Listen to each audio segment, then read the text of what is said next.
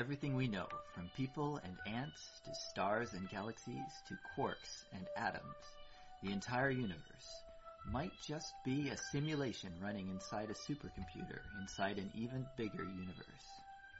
Ancient philosophers said that the universe is a dream that we're waiting to wake up from.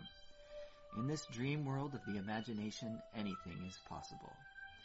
All cultural items, from the dreams of our rodent-like ancestors, to books, to television shows, are merely permutations of the reality we think we live in.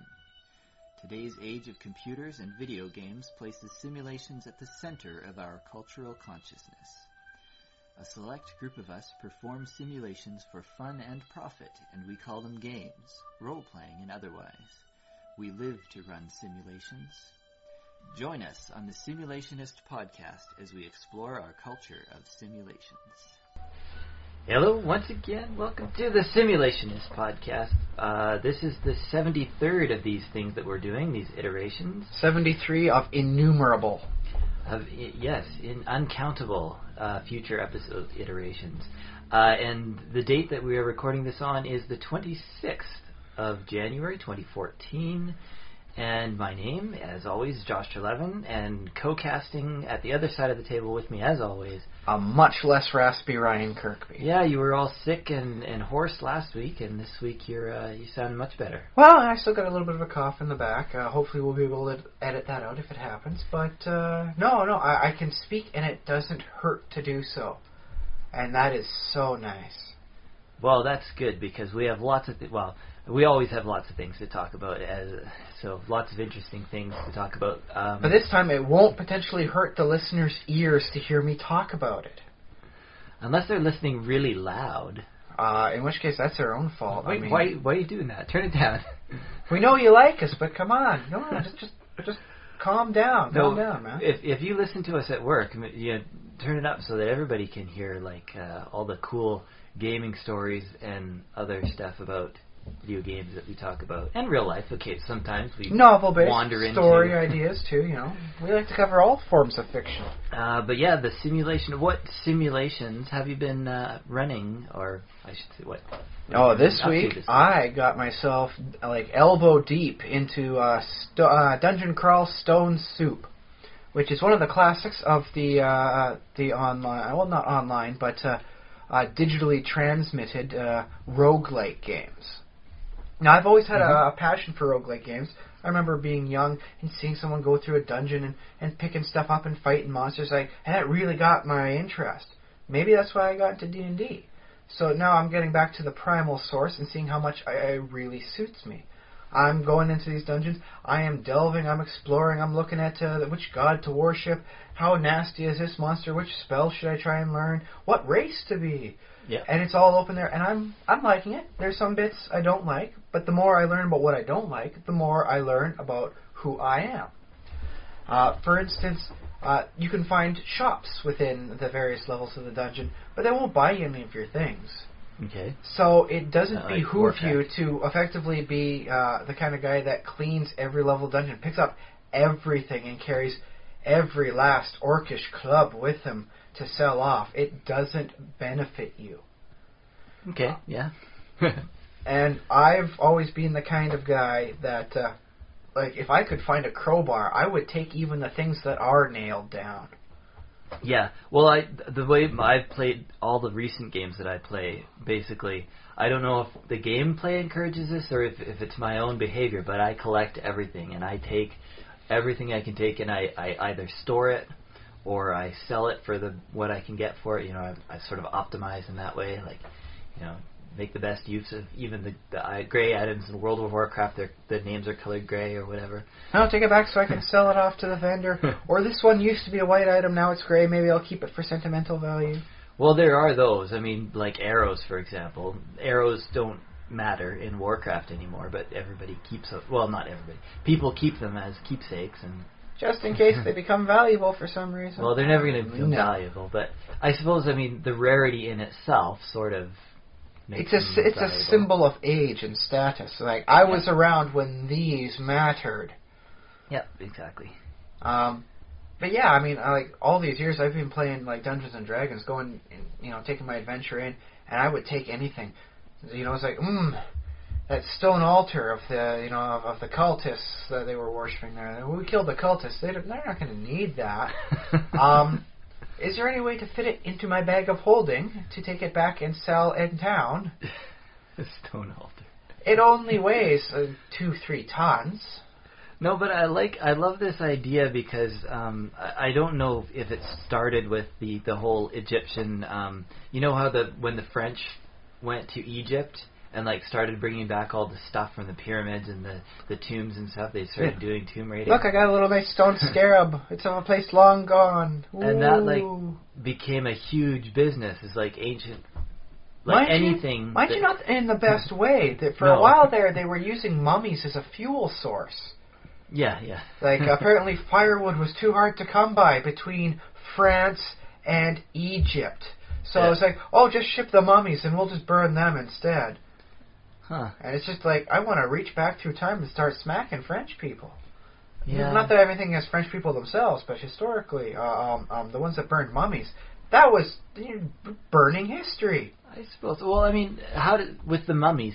Didn't they? I well. There was a I lot of there was a lot of fake mummies being sold back Okay, then. they- They would yeah, they were fake they would fake find a mummies. person, hey, come on down this alley, bam, knock them out, kill them, you know, desiccate them up, and then wrap them up and Make sell them off as mummy. yeah. Um, but what I'm wondering is like, would the pharaohs bury? I think they buried at least some of their servants with them, if not like. But there, Hundreds or but there are thousands. huge things you can learn about, like like what life was like back then by studying the corpses. Yeah, you only need one mummy to really. Well, that's the thing. Is the more mummies you have to study, the more you can find trends. Oh, yeah. And there's Okay. still some genetics you can I'll sometimes get. So you can you can really get um the more mummies you have, the more samples you have, the better a sense you get of what life was like for the nobility, for the average person, for those who were serving the nobility. Were they effectively considered like a pseudo middle class? Like were they getting decent cash that they could spend here and there, but they weren't, you know, like actually upwardly mobile? You just got to attach yourself to the right figurehead. It would be nice to know, but we we can't really find out much about that anymore because uh, people wanted to burn them. Well, I'm sure some mummy. I don't know some mummy survived, but Well, it it just not strikes survived. yeah. But Well, depending on how, how, how often you see the mummy uh, movies, you know, from Universal horror, eh, sometimes they survive. But no, this strikes me as the same as those uh, dragon's teeth that they were doing uh, back before World War II in China. Mhm. Uh, people were just finding this stuff and be like, "Oh, hey, here's a bone with a bunch of writing on it. What does it mean? I don't know." And people were saying, "Oh, well, you grind it down into powder and then you put it in your tea and it cures things." but what was really written on there Yeah. was uh, well, old, old, really old dynasty. Like, It's like the cure for your whatever cold you have. No, what no, they- I'm just gonna grind this up in. well, uh, uh, what, what the thing was is that they'd write down their plans for the day, and when the bone cracked, that was seen as a good fortune. So they'd take bones out of like chickens or whatever, and they write down today I will go to the market and you know buy some of this or that. Yeah, no crack, no market's not a good day for the market. And they go, uh, today is Ah. the day I shall declare war upon my enemies. Oh, cracked. Guess we're going to war today, guys. And so there was a, a, a If you grind them up, you get all that luck out of them. Wow, I don't know how lucky it was. I mean, farmers were just pulling this stuff out of you know their fields, like ah, kind of junk, and then they're selling it to the people that would grind it up, sell them as dragon's teeth for an inflated price. And every time they were doing that, they were slightly erasing the dy- that one dynasty from Chinese history. Mm. Yeah. And, and so it just it's like every time you burn a mummy, you are removing a piece of potential history, and it's like, what are that- you people That'd doing? be a public service announcement to all our listeners out there who, uh, if you should happen to find yourself coming across a mummy, an ancient Egyptian, or, you know, any region of the world for that matter. Um, Only burn it if your survival is at stake. Uh, I'm yeah. not going to tell you to die for the sake of history. I'm Yeah, saying, unless, you know, your life is on the line, please do not burn or actively destroy history. We still That's don't it. have enough of a, a, a proper sense of value on the stuff, and we could stand to learn more. Plus, somewhere out there is somebody with an undergraduate that needs a master's project. Now, you know, a mummy, some dragon's teeth sort of thing. That's great stuff to study. Put out a little paper on it. Bam, you've got your master's. And if you do find yourself in a survival situation, but maybe for some reason you have a camera with you or pen and paper, um, do some rudimentary documentation of what Try and money. save the head. There's a lot of dental Save the- stuff you can save learn. the teeth, yeah. Um, and this goes for our future listeners who are out in outer space, uh, you know, exploring other worlds. And uh, of course, you probably already know that because they would have briefed you. Because we They sort of should have. unless you're just the janitor on the uh, space colony ship. And There's Uh, nothing wrong with that. Even space needs janitors. That's a very proficient job. actually, it it'd be funny. Like I think I imagine in the future it'll be like the janitor will be like you know the king, uh, you know, in a in a space colony. Because I mean, all that garbage. I mean, how can you you can't live if if the thing gets cluttered or, or dirty or whatever. So- And uh, try as we might, humanity is garbage. We generate it. Even even the best of the hippies, like back where I grew up, there were people that would be calling themselves hippies, and they'd live out in the woods for a couple months, and when they left, garbage everywhere, filthy, filthy people. Um, even if they were burying their latrines properly, still garbage and litter everywhere. Try as you might, humanity litters. Yeah. if you if you want to be a janitorial, you know, custodian sort of thing up in space, you've still got yourself guaranteed job as long as the robots haven't taken over. That's a good point. Well, If you're a robot janitor, eh, congratulations, you got the best of both worlds. You Maybe- clean dirt, but you don't make any yourself, really. if you're a robot janitor and listening to this podcast, send us an email at thesimulationist at gmail.com. Let us know how your life is. Um, I think those Roombas are doing very well for themselves these days. yeah, and maybe one day they'll achieve consciousness or something like that. Will they be angry that we put bunny ears on them? Hmm. I imagine no, because let's let's picture like aliens coming down to Earth and like putting bunny ears on our monkey ancestors. I think I'd laugh at that.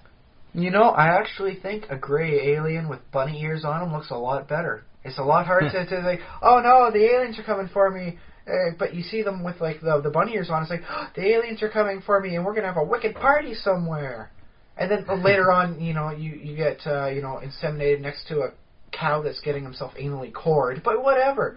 At least you had that brief sense of like, all right, aliens traveled across the stars to have a party with me. Let's yeah, rock it. It's like yeah, this is some kind of uh, pop band or something. Yeah, I'm all I'm saying is, you know, presentation really helps, and so you know, gray alien with bunny ears on himself looks like an alien that's ready to party. So if we went to an alien planet, like should we find a local animal of some kind to to symbolize and and find out like a, see if they have an equivalent of a bunny? There probably will be an equivalent to the to, to the rabbit, sort of But would it have like the long ears? Mm, possibly not. Uh, those things are, are one of the they're really the flair of the species. Mm-hmm. Um, you They might have an exaggerated some other feature. Yeah, yeah. The, the ears might be more rounded, like a Mickey Mouse sort of style. In which case, we get sponsored by Disney as we land and you know and talk to the aliens. with, with Disney with Mickey Mouse ears on to to invade the Hello, alien planet. species. Hee hee. I'm pretty sure I've seen cartoons with the aliens wearing the Mickey Mouse ears. Was it a Disney cartoon where they were doing that? Well, it may have, uh, but no. I, oh well, I think it was Bizarro. Is that, is that his name? Uh, I think he's a Canadian guy, but I'm Oh. not sure. No, I was thinking Bizarro, like the Superman villain. Well, the name of the guy is Pizarro, and the name of his Oh, comic is- Pizarro. Yes, is yes, uh, yes. I remember him. Yeah, he does some fun stuff like that. But uh, yeah, find a find a non-offensive species with some nice characteristics we can mimic, and then just come up to the aliens kind of dressed like that. Blow Now- their alien minds. Okay, so let me ask you this: If, if oh, but make sure they're not like like the prime like eating species. Like like if you're an alien landing on Earth, you don't want to come up and, and, and be dressed like a cow or a pig, do you? Well, not ob, not like to fool people, but like if you had a, a cow mask or like a cartoon cow. Like you come up, you know, and you got like a, a fake, you know, squiggly, you know, pigtail, yeah, and you're like and a snout on you. I don't know. That doesn't really say the right thing. It's like uh, you, you you guys do realize we we eat like 17 different meat products from the pig itself. We we do all sorts of weird cutting for it, just for different chops and cuts. And and have you tried bacon? It's probably lethal to you, but you gotta try it. well, it depends what part of the world they land in too, because a good portion of the world will will not eat pigs, and part of the world won't eat meat at all, for that matter. So depending. Well, that's the thing is, is that we can only say from our perspective. It might yeah, not if they be landed the in. Canada, it's like land as any animal will eat you. I don't know, man. If they, they come up dressed kind of like a moose or, or, or like a beaver sort of thing, I think that we can kind of respect that. It's like, ah, you're trying to, to mimic our, our animals, you know, and all that. Oh, okay. Yeah, yeah. Here in the us urbanized Canadians would be like, ah, we respect that. But like the, you know, Canadians in, in the in the bush in the north, blam. Well, no, that's the thing. That's why you meet, that's why you meet them in town. If you're Okay. an alien trying to like encounter someone and you're dressed like an animal, do not do that out in the woods. You're probably encountering a hunter, and that's how your species gets found. That's like how Bigfoot gets found, man, is, is Yeah. as a corpse from hunters. yeah. So you know, meet them in the city, meet them in town. So there's two scenarios. So there, there, the gray aliens come to Earth. And they have two choices of headgear: the rabbit ears, like you said, or the Mickey Mouse ears. Which do you think is less, um, more, uh, I don't know, calming? Which one? I think for me, reaction? more calming would be the bunny ears Maybe because bunny the Mickey ears. Mouse ears might indicate that they're trying to like pick you know corporate alliances already. It's like Mm. the concept of aliens doesn't Yeah. scare me, but the concept of aliens wanting to play in our little uh, like weird games of, of corporate uh, sponsorships that really freaks me out.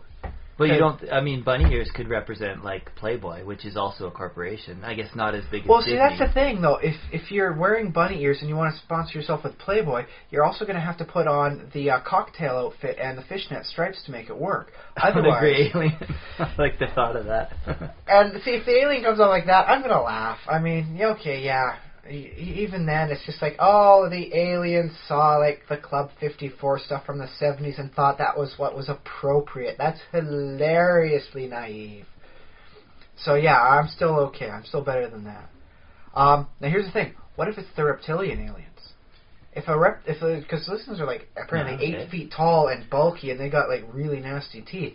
If I saw one of them staring at me and he was wearing bunny ears, I would not think, oh, he's trying to mimic me. It's like, oh God, he's eating somebody with bunny ears, and that's his trophy. okay. I, So- I'm surprised that you're not afraid of the gray aliens because I imagine like the gray with their big heads and stuff, they'd have all that telekinesis and hypnosis, and they'd basically be able to, uh, you know, I would be afraid of their technology. And the brutes, the the reptilians, would be like, okay, well that's fun, but like take me to your boss and we'll talk to him and sort this all out.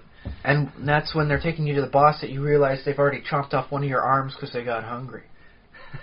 And you didn't feel it because they have like saliva that Yeah, numbing, numbing poison saliva on there. You just look down, there's blood. Oh, oh, come on, you guys. I'm gonna meet your lead. That was my hand shaking hand. I gotta shake with my bad hand now. Yeah. Although, uh, speaking of cartoons, do you remember the the Gary Larson cartoon, The Far Side, where the the aliens have hands for heads? Oh yeah, and the farmer like- winds up grabbing him by the head and shaking him violently. because an intergalactic incident.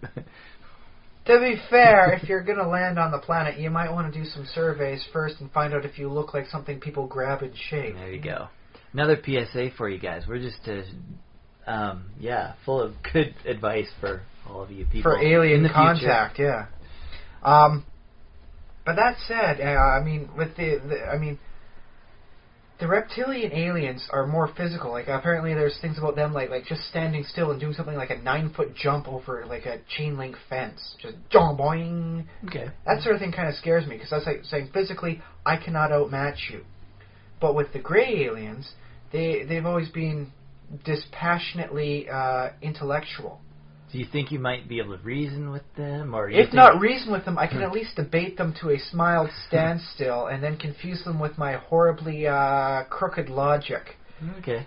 I figure I actually have a fighting chance against an intelligent alien as opposed to a brutish one. hmm So yeah, you know, like like xenomorph aliens, the predator alien, I I got nothing. Uh, The best I can do is hope for a hide and dodge at the right time. Maybe I can survive it to the third act.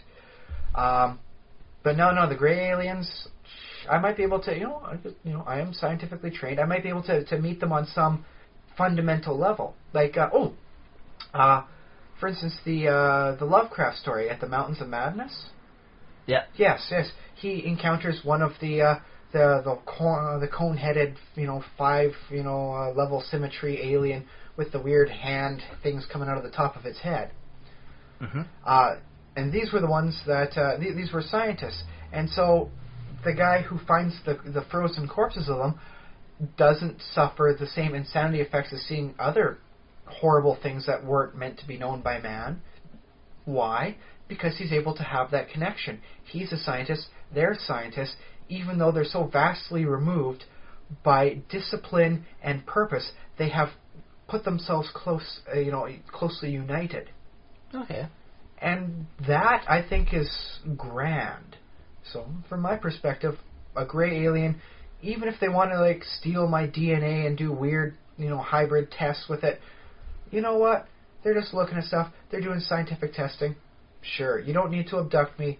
Just, you know, make me sure I sign the right papers beforehand. You don't even need to mind wash me afterwards. I just won't tell. I'm okay with the scientific process and what has to be done.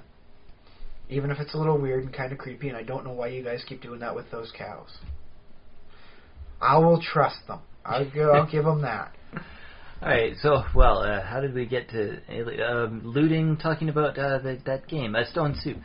Yeah. It's Dungeon Crawl Stone Soup. I, I heartily recommend it for anyone who has a little time to kill and wants to have a little fun. Um, that said, I haven't gotten very far in it. I keep dying.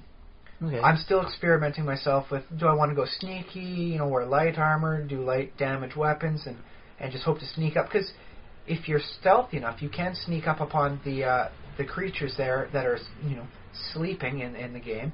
They got little Zeds next to them. And yeah, with a dagger, you ah slit the throat. There they go. They're dead. Um, Oh, I see. uh, but then again, I, the best uh, effect I had, you know, the best time I had was being a Death Knight in large armor, wicked good shield. That's as I've gotten so much further through the dungeon until I got cheap shotted by a, a, a Jolton who cast an ice bolt spell at my head. Uh, Sorry, Jolton, proper pronunciation. The What uh, a- ice giant. Yort head. No, yer- yerk. What a yerk. Yes, the Jolton was a yerk. I had half my life and he killed me with a single bolt. Like, what was up with that?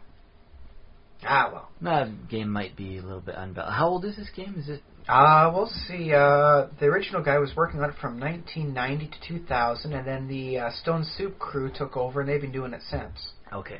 So they got almost yearly productions out of it so far. But it's constantly under development. Development ad- additions, like they've added extra wings, extra hard spots for those who have finished it, want an extra challenge. They've added extra races, like you can play an intelligent cat. Uh, That's fun. can't really wear much for armor. Uh, you can't really, you know, lift a whole lot because you're cat sized. But uh, you know, if Like you want, physically a cat. yeah, you are physically a cat. Yeah. You're not like a feline sapien or anything. You Yeah. are an Well, intelligent. some, some cat. games have those. Yes, and this one has a lot of races. Mm-hmm. Um, but you know, being a cat is kind of out there. It's a nice extra challenge. It's a hard cla- race to play. yeah. Uh, that said, I might give it a try myself just to see how well it works, how much fun I have. hmm If I have a lot of fun but don't survive long, I'm okay with that. So Yeah. long as I'm having fun. Yeah. Cool. So how about you this week? Uh, did you explore new ground and, and tread new waters? Let me see. Did I explore any new ground? I didn't explore new. Let me see. In Minecraft, no. Um, treaded a lot of old ground. I, I did a lot of improvements on the town of one of my towns um, in my uh, single player world. Um, I decided that I wanted more. Um, what do you call it? Wheat blocks? No, hay hay bale blocks. Hay bales. Yeah, and I I did a little bit of calculations, and basically, uh, hay bales are, if you count the all the work you have to put because you have to plant nine bits of wheat and then grow them. Mm-hmm. Um, so they are harder to get than obsidian. Like it takes longer per stack of hay bales than it does per stack of obsidian blocks. Although that said, they are technically infinite because you can grow them. It's kind of hard to grow infinite obsidian so far. Um, yeah. Well, have you been to the Nether yet? Like, Uh, no, no, I was Okay. going to be doing that this last week, but then I downloaded the game and got very sidetracked. Because I think, yeah, for all intents and purposes, if you get to the Nether, lava is infinite there. I mean, it's technically it's finite, but it's But mining it still requires diamonds, and those are you know until you get to a town large, very very finite. They're they're largely rare. Okay, yeah. So I yeah, I guess that's true. You have in order to have my equation work out, you have to already have diamonds, and it helps to be have enchanting because I have enchanting like something like fifth level of of enchanting. Spe- uh, what I forget what it's called. Efficiency, yes, Ah, on the diamond pick. So so I get I can harvest um I can mine obsidian. a lot of yeah, obsidian. fairly quickly, and it's it's probably about as fast as it takes to to uh, chop um, stone with a wooden pickaxe or something. Oh, like not bad, not bad. Yeah. Um, but yeah, basically, like, so I was working out, you know, basically it's equivalent. The for me, anyways, in my Mhm. single player world, it's equivalent to you know a stack of obsidian or a stack of um, Hay bale. hay bales, which is I don't mind too much, and so so that's the thing. Like I'm I wouldn't ask for a change, but I just find it I don't know almost intellectually interesting that that there's an equivalence there. Um, even though they they're very different blocks and they do different things, I've, I'm kind of thinking about building like you know a castle out of hay and obsidian. just I like the that. Haysidian Castle. Yeah.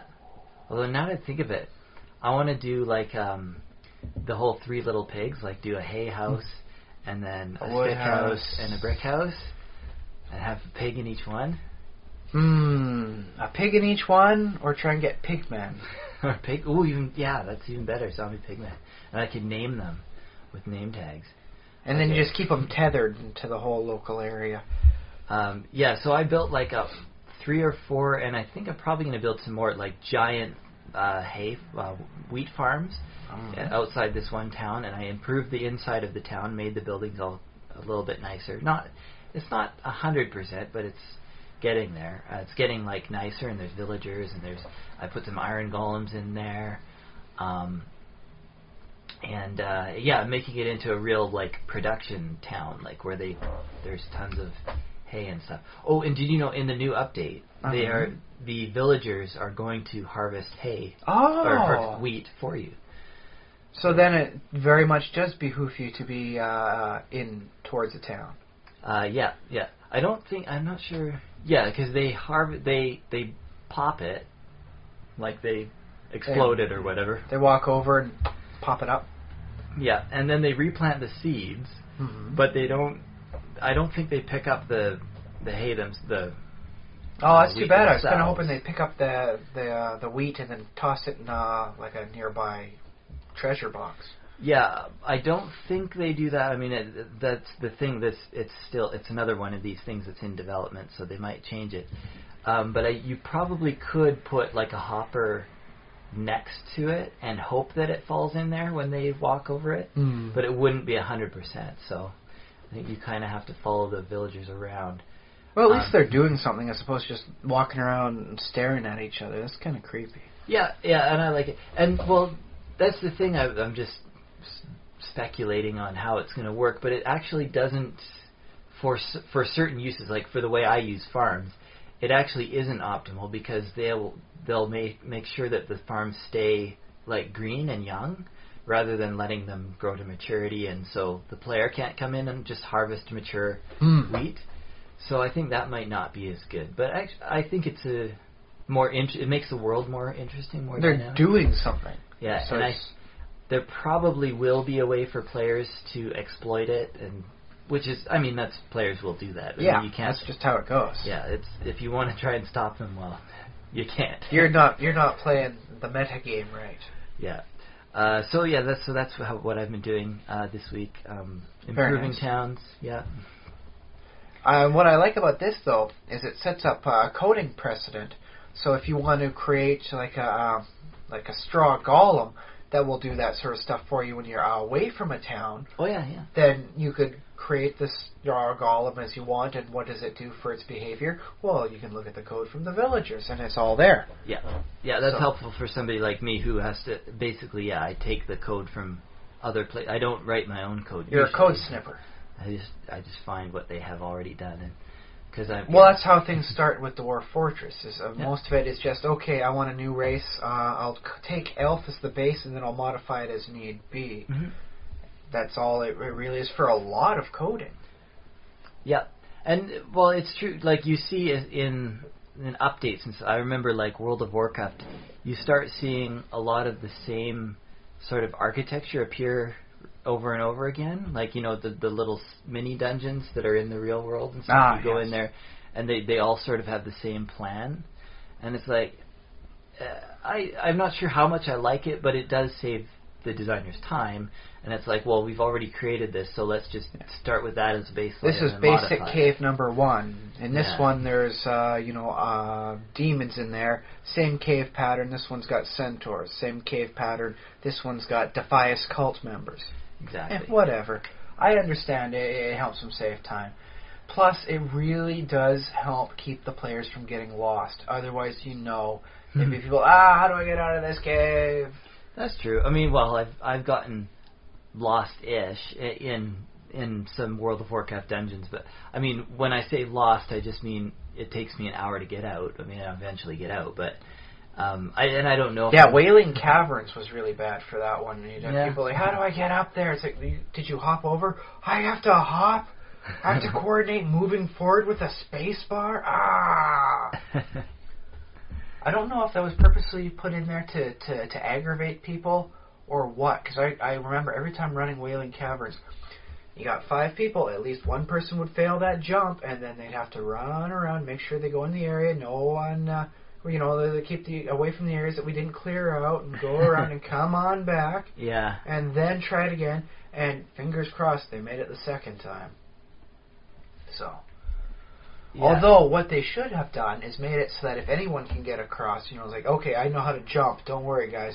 They jump across, and then you hit a small switch, and then like a board falls down, so everyone else can just walk over. No worries. Yeah, that makes more sense. I think the intention was that players weren't supposed to be like blazing through. Like that's the thing about Wailing Caverns that I always experienced when I went in there is that everyone I was with had already done this like 50 times and they're all like, "Oh, let's get through this. Let's go, go, go." Rah rah rah. and and the I mean, if you look, if you stand still for a few seconds, you look around. There's some beautiful scenery inside that. There is, um, but it is very twisted, going back in this way and over to this way. Yeah. And then you got to go back to Naralex over here and all that. Um, But I'm saying, just take your time. Just Well, yes, but it would have. I think it would have been nicer if they had had something where it's like, okay, one person jumped over, and now you click the small switch over here, and uh, you can get a Actually, board yeah, to, to does, drop down, and uh, like a, a rope ladder, so that if anyone who misses the thing can climb up. And it's not that bad. Yeah, you just wait as the more guy makes sure to click and, and has their little, uh, you know, tune climb up. Although I don't, do, do, they don't have a ladder mechanic in World of Warcraft, do they? No, but it wouldn't be that difficult to work in. Yeah, just- or yeah, one would it. think. Apparently, they still haven't put in those extra dances they promised us two expansions ago. Yeah.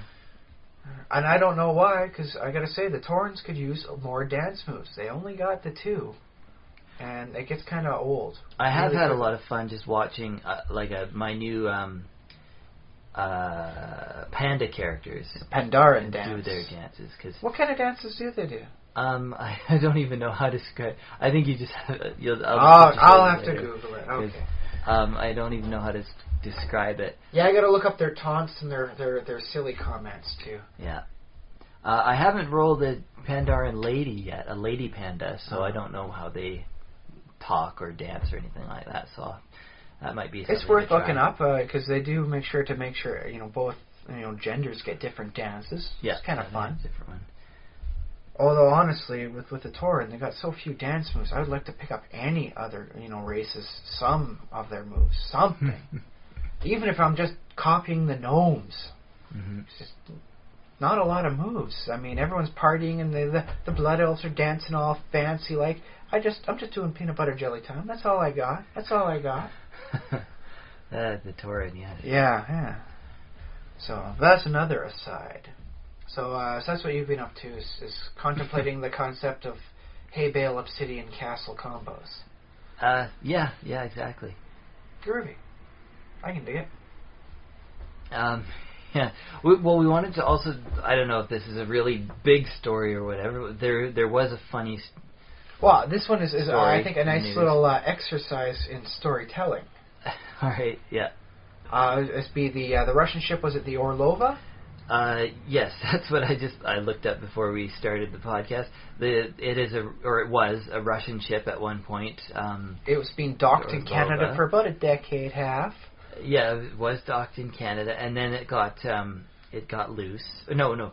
Okay, It was getting transported from A to B, like they're going down to what, the Caribbean so, somewhere. so yeah, they were going to move it from like Newfoundland to the Caribbean, and um, the tow rope snapped. This was I don't I think 2012, but the the details are important. You can I don't know look up the.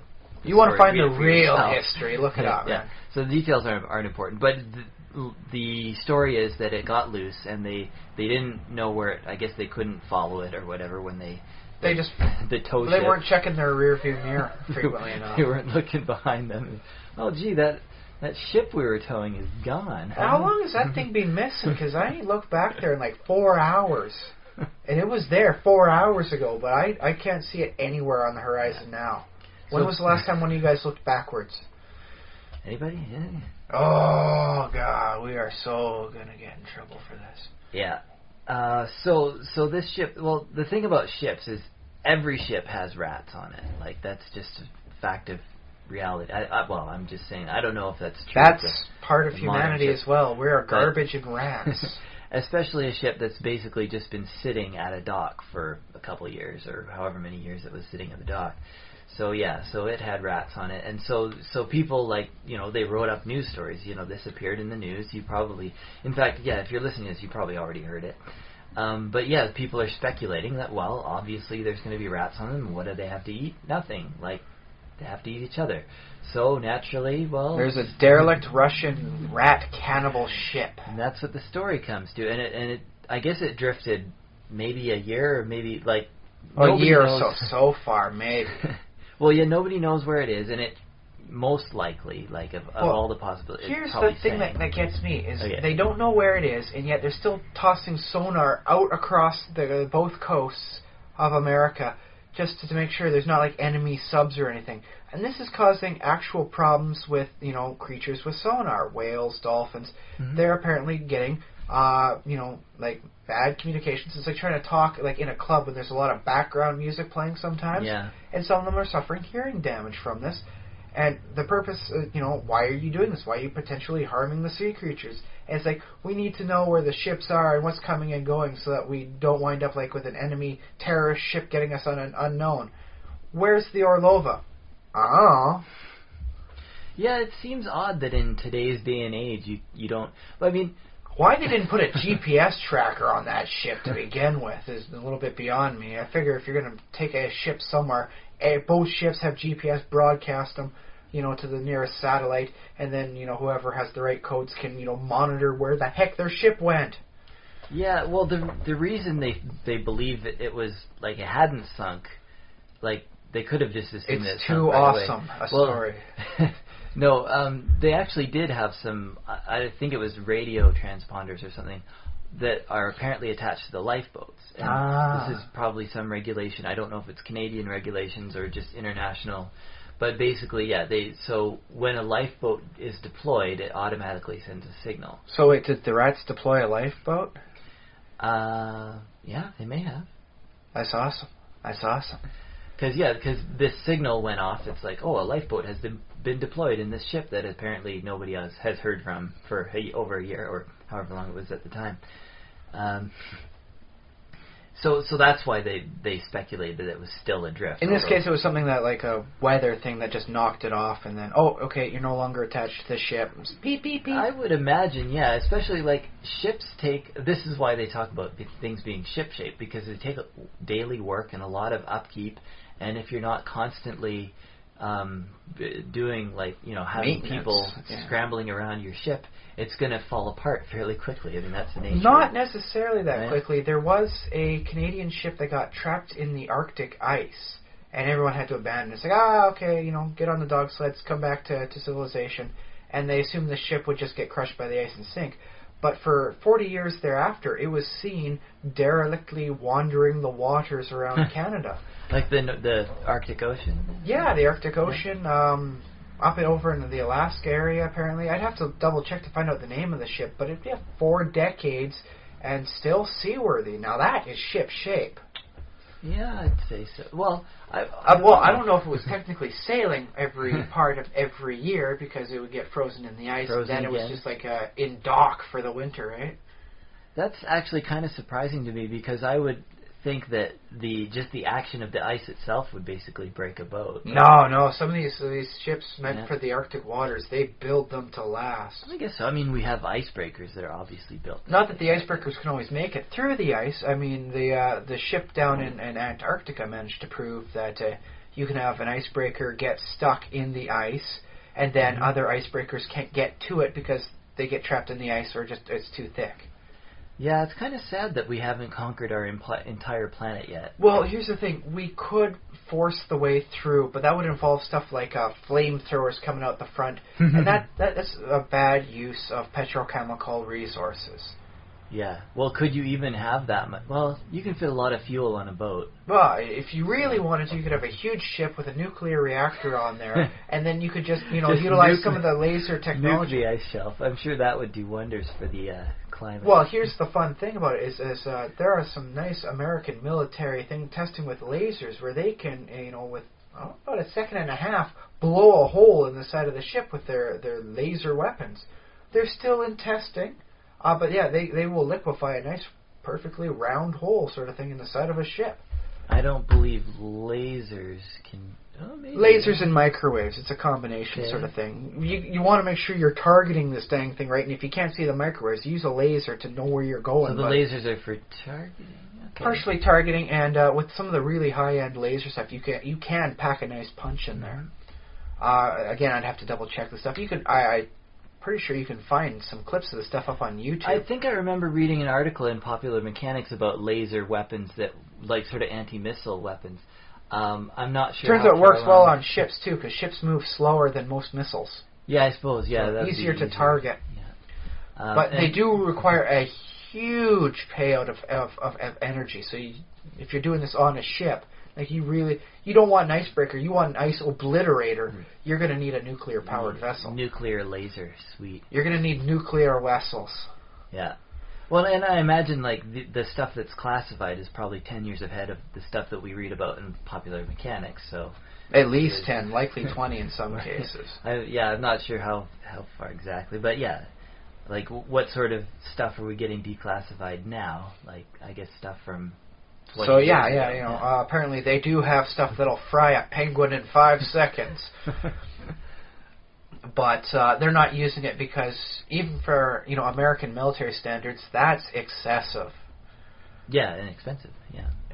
Although, just wait till they put that up on like a you know like a solar satellite sort of thing, and then it's like, oh, you're stuck in the ice. Boom! Blast a nice little line out there. Now you're not. You're welcome. Salute. cool. Uh, no, And- but yeah, and that's that's the American use of force in the military. I approve. Okay, yeah, to get people out of the ice. You're stuck in the ice. Bam! Big old missile, you know, uh, laser from the sky. Pew! yeah. There's a clear path for you. I found it. You're welcome. So you know, two thumbs up if you're doing that. But this is something to I don't know throw in your stories or Yes, yes. whatever. The, the Orlova itself is a plot that basically writes itself a dozen different ways. Here you have a derelict ship floating the waters that may very well be inhabited by starving, cannibalistic rats. yeah, and if like- you have a little bit of magic in your campaign, maybe they mutate a little bit. Well, that's the thing is, is you can just uh, picture this as a short story you're writing yourself. Uh, myself, I take it, uh, retired couple, you know, they sold their house, they bought a boat, now they're they're living the life on the seas, and they're you know doing like a week tour or something. They're like, they, they don't stick to the coast. They go out and they have a little fun. They're experienced, you know, uh, sailors, you know. So they go on out, and what do they see? A derelict ship, and then they you know they go up and they dock on it because you know derelict ship, eh? You know, watch out. And then you know they go on the ship, Yeah. bam, cannibalistic rats sort of thing. You know, like, ah, you know, forget the cat jumping out of somewhere. Maybe they have a cat. Maybe the cat goes missing first. ominous sign of things to come. All they find is the collar and a lot of blood. I suppose. Well, How would you rate the story involving an, uh, an Orlova type incident? Uh, well, I was gonna say, uh, like a derelict ship, it's it might be like old and stuff, but it also it might be salvageable. And technically, if you find something, Salvaging rates on even a uh, Yeah. derelict ship that's uh, very old like that, that is good money. Yeah, I think if you find something in the op- in the international waters, I think it's yours. I think finders keepers still the rule. I do believe that was the premise for the uh, the movie Virus, which is a good, a nice adaptation sort of thing on that that involves all sorts of other fun. Uh, not a big thinking movie, but I do recommend everyone out there watch it. Uh, but yeah, no, I like your retired couple. I just don't want another like, oh, you know, we're we're just out of our teens, sort of young adults, sort of. Thing. No, no. yeah. Every once in a while, I want to hear a story about mature people with a lot of background. Like maybe the guy's really good. You know, he's always been tinkering. He's got 40 years of tinkering experience. Next thing you know, he's got a makeshift flamethrower on there.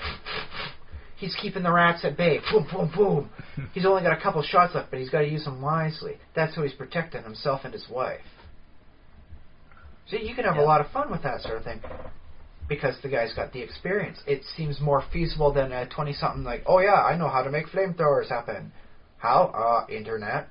No, man, come on, come on. The internet. So yes, yes. How would how would you write the the story with the the Orlova as a central you know uh, plot element? Uh, where to begin? Uh, the story would be yes, the old re- the the retired couple comes upon it, and uh, it's just floating around there. Um, hmm.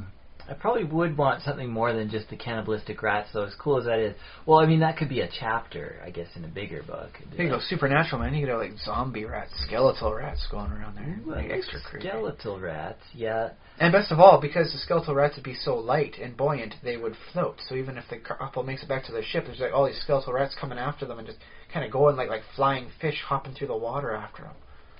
That makes a nice mental sight, man. That's that's what you put on the cover of your book. J- a skeletal rat jumping through the water like a flying Not just fish. one, several of them coming coming at the ship as, as you know, there's a couple ah pointing no. that's what you got. That's your front cover, man.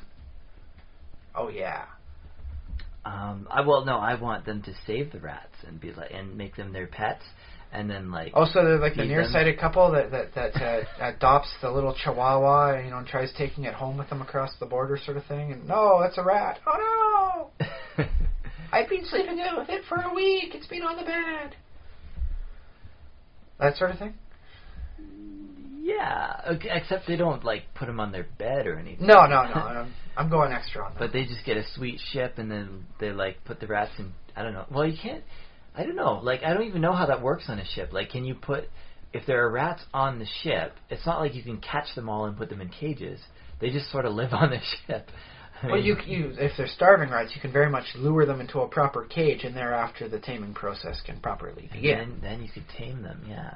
And then, you know, like, you know, teach them to uh, steer the ship and stuff. Like, Oh, you so know- it can be so it could be like a, one of those fun like fantastic voyages sort of thing, eh? yeah. And then the rats become your crew, and then like, um, and then you go around sailing the world, and the rats like they become pirates, and the rats. Pirates. There's your bad pun of the day, folks. Um, and then the Although I rats. suppose if they're good at heart, you could just call them buccaneers instead of pirates, sort of thing. They go around saving the day sometimes, you know, just being Yeah. general swashbuckling rats. swashbuckling rats. Um, Tiny little buckles to swash. And yeah, and then no, like people go back to port and they're like, "You won't believe like what happened to us. We lost our ship and and rats." And then nobody believes them because they said you won't believe them, but they didn't. So Also, it sounds like something that requires drugs to, to, to fuel. You know, it's like, well, you actually believe that happened to you? Well, you guys took the good stuff with you when you went on your ship trip, didn't you? See, but I mean, just just out of my head, I can picture even two other ways to take this sort of story. yeah, Let's just okay. take it like a like a like a Dracula type thing. You know how he has the ship and it winds up uh, when he's going from the uh, you know his old world and he makes it over to, to London. How he drains the blood of, of the sailors and it's a derelict ship going there, right? Oh right, yeah. yeah. So what we do is we have the Orlova coming into port for a small uh, little uh, uh, town, like one of those nice little isolated towns that's you know got maybe the one line in and out for for thing, and, and cell phone towers aren't big, nice and isolated because that's how you want to play this sort of thing. And it comes crashing, and it crashes in the dock, and people investigate. Why did it? What's up with this ship? It's derelict, and that's when the rats come pouring out. Forget zombie apocalypse. This is the rat apocalypse Uh, as the people just have to deal with this horrible, overwhelming swarm of, of, of super starved rats coming in and gnawing their way through doors and trying to eat anything they can get. Yeah. People, you know, animals, you know, going to, they clean out the supermarket in less than an hour. There's a huge amount of rats, like unnatural numbers. Just, just why didn't they eat each other down to more manageable amounts? No, they are. Uh, They come in. And so that way, you get uh, people with dissimilar personalities. You put them in a locked-in confined area, and you move like maybe the confined area from A to B, or up and up in a way as they they slowly like lose sections of, of a house or whatever to to the swarming rats. And then that way you can tell a wonderful story of conflicting personalities, which is the central basis for a lot of good stories. Yeah. And you don't have to use zombies because zombies are kind of overused from many perspectives. yeah. So no, man, it's the rat horde. it's the rat horde instead of the zombie apocalypse. Or Cool. if you want to Right. add a supernatural element into it, uh, you call it still call the ship the Orlova, but it's no longer a Russian freighter or anything like that. It's a cruise ship. And what happens? They get lost in the Bermuda Triangle, and that's when the rats start coming up and attacking. And then you've got people in the confined spots with weird stuff happening. You can get ghost fire and, and you know all sorts of like, oh no, those those planes crashed 50 years ago, going over. so here. the rats come out of the portal to the rat dimension. Mm-hmm. They're just no, they're just like going crazy from oh. whatever energies is coming up, and Okay, the psychic energies. Sure. the weird, the weird energies of the Bermuda Triangle. Yep. And so you know, like they can't radio out. They're lost in the Bermuda Triangle. They're like one of the people that gets lost forever. What's happening to them? The rats, the crazed, you know, like, like raged rat hordes are coming up, and you know they're. You, I mean, I- have you ever seen the Poseidon Adventure? You know, where the ship gets turned upside down. You gotta like make the way. Um, I recommend the classic one as opposed to the uh, remake they did recently, because the classic one has more old celebrity stars and you might be able to recognize them. Okay.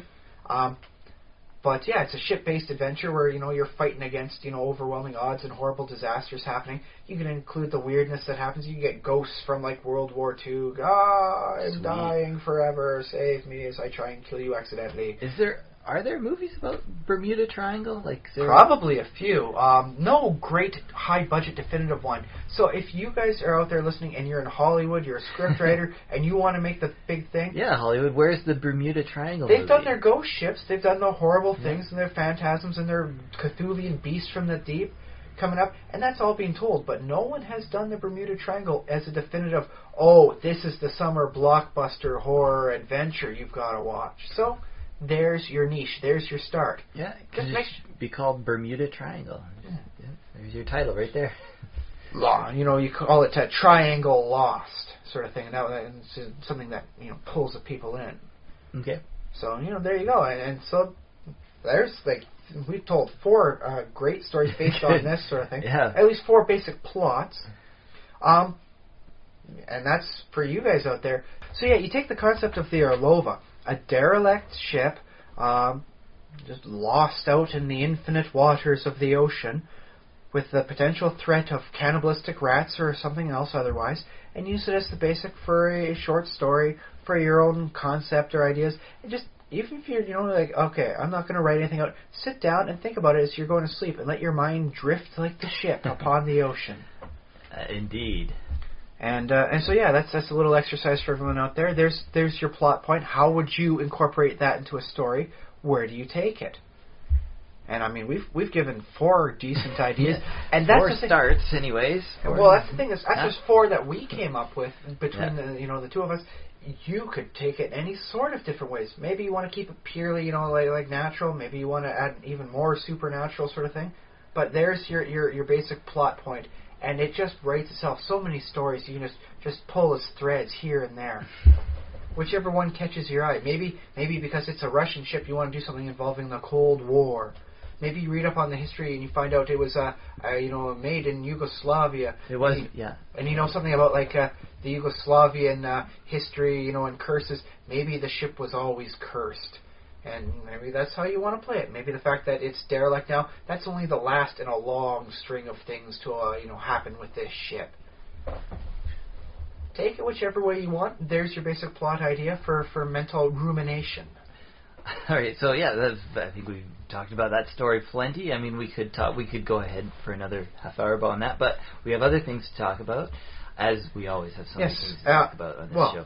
And that's uh, the big thing that got me about uh, playing the uh, the dungeon crawl stone soup was that uh, the starting class you pick doesn't really do much in the long term. It Uh-huh. decides as to how proficient you are in some skills. So your class is in like warrior, mage, Warrior, monk. skald, yeah, monk, uh, gladiator, adventurer, alchemist, and all that sort of thing. No, arcanist and all that helps determine what you're proficient with. With uh, the venom mage is proficient with uh, poison-based spells, you know, and that's how it works. Congratulations, that works out nicely. If you go with the uh, the Naga, they've got affinity for it, so they gain even more proficiency base on it. But the thing is, is the class only determines the basics. You can overcome any of those negatives. My monk did not start off with a heck of a lot of positives in spell casting, and yet, you know, right now the one I'm running is more proficient in spell casting than actual melee combat. That makes sense. So basically, what the things that you do through the course of your adventure sort of steer what you learn and and the things that you're able to do in the future. That yes, uh, what you are doesn't matter as much as what you do, but also the concept of race. Uh, it helps determine how quickly your stats go, how quickly you level, what you can wear, how many of them you can wear. There's like octopoid people; they Hmm. can wear ten rings as opposed to just two, right? which is you know kind of awesome. Um, So octopuses have eight arms. Yeah, octop they have eight arms. Why do well, they, they because they're 10 rings? octopoid people, so I I assume Oh. they've got regular arms in addition. Oh, I see. Okay. Yeah. No, I okay. haven't seen an actual image of them, and, and, and it gets a little weird. But uh, but yeah, the Naga and all that. To some of the the less human ones can't wear the proper armor. If you're playing the intelligent cat race, the Felids, um, you can't wield any real weapons because you've got cat's paws. There's no opposable thumb there for gripping. Yeah, makes sense. Um, some races are vegetarian; they can't eat meat.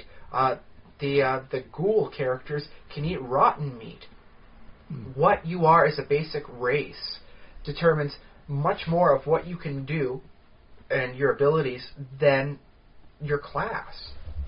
And that struck me as being very interesting because in D and D, your class is just an initial, uh, you know, like, like concept, and that matters all throughout the thing. However you level. Oh yeah, yeah. What level of class are you? That matters highly. What race you are affects you at the start, maybe for the first couple levels, and then it's just statistical noise. That plus two you gain to dexterity. You, you know they got rings and, and magic items to do the same thing, right? Yeah, yeah. So it's different approaches to. So so yeah. So I mean, it, uh, we're not saying one approach is better than the other. We're like emphasizing race over class or class over race. Uh, But it, it does change how it all feels. mhm. And it, it occurs to me, like I've made fun of D and D with the whole thing, like, oh yeah, greenskins. Why do you know you're supposed to kill the orcs and goblins? Well, because their uh, skin is green. That's not racist at all. oh, this elf has black skin. They must be evil.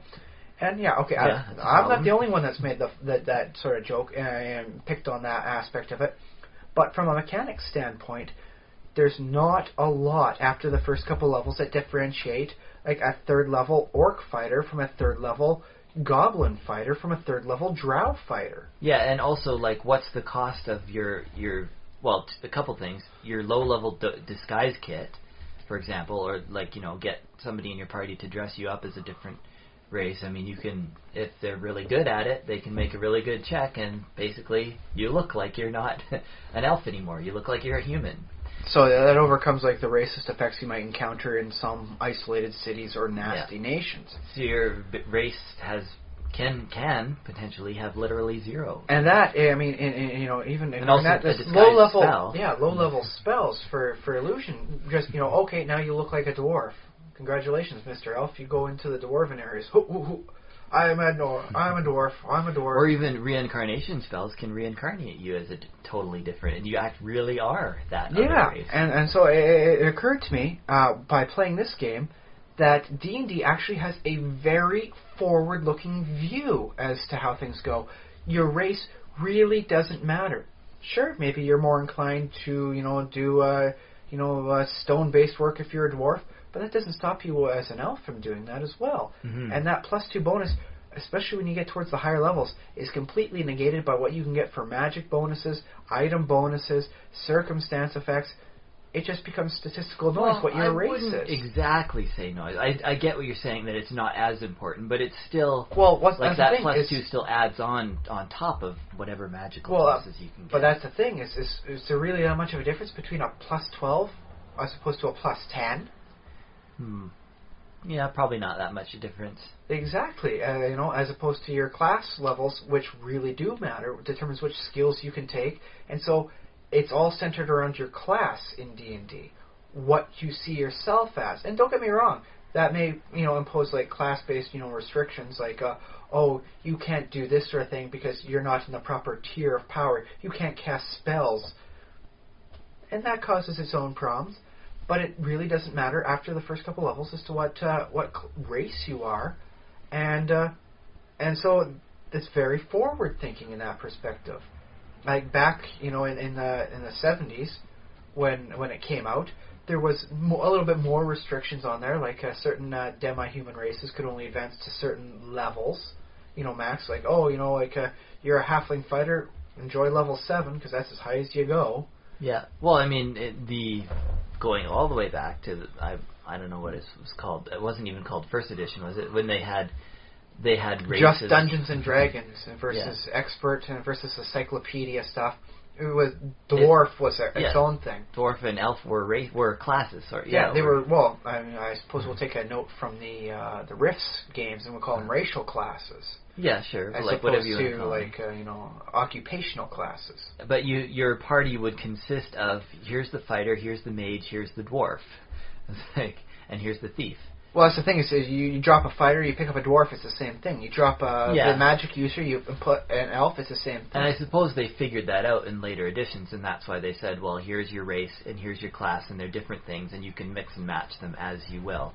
And they Yeah. sort of gradually took away restrictions. Well, yeah, back in second edition, they had it's like, oh, you want to be uh, like a dwarven wizard? That's not allowed. Dwarves Yeah. can't be wizards. Yeah. Uh, but they got rid of that. So as of third edition, it was very much more progressively minded, but not in your face about it. Um, you could potentially see as racist. Oh yeah, yeah, yeah, dwarf, yeah, spellcaster, yeah, that's really gonna be good. Oh yeah, yeah, you suck at your spell optimization for your character. It really doesn't matter that much after the first couple levels. That's true. Yeah, like I, I, I once just you for become, fun, I once would you become great, you're great. races that didn't fit Yeah. with their classes just to see what I could do with it. And those, yeah, those are really fun to play. Halfling barbarians are entertaining. I don't care what anyone says; they're fun. yeah. Tiny rage. Oh, oh, oh, oh! Now you're fatigued. Now I gotta put you in the little baby harness here, and we'll take you, in, you know, and then you can rest up. But, uh, but yeah, it, never struck me as just how in- incredibly uh, forward-thinking, uh, you know, uh, as opposed to other ones. The de-emphasis on race. yeah, which is not Yeah. to say that the Stone uh, Soup uh, Dungeon Crawl is regressive or anything like that. Well, yeah, it's different because it, race is much more important in that. It does affect how much um, mana points, how many health points you get per level, how quick you, you level up. But you can overcome any of your your innate uh, obstacles.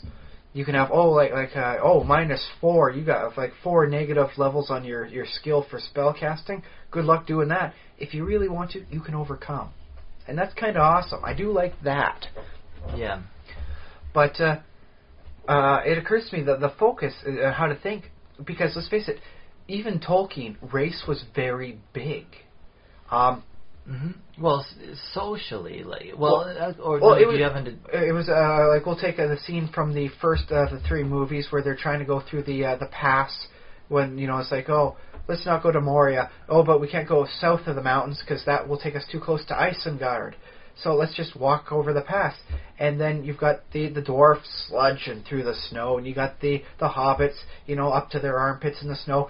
Gandalf who is a, a powerful wizard and equivalent in, in, in, in all intents and purposes to being like an angel for, for his equivalency to, to like more modern, you know, like a mythological. What is yeah, he? He's, he's a Maiar. Yeah.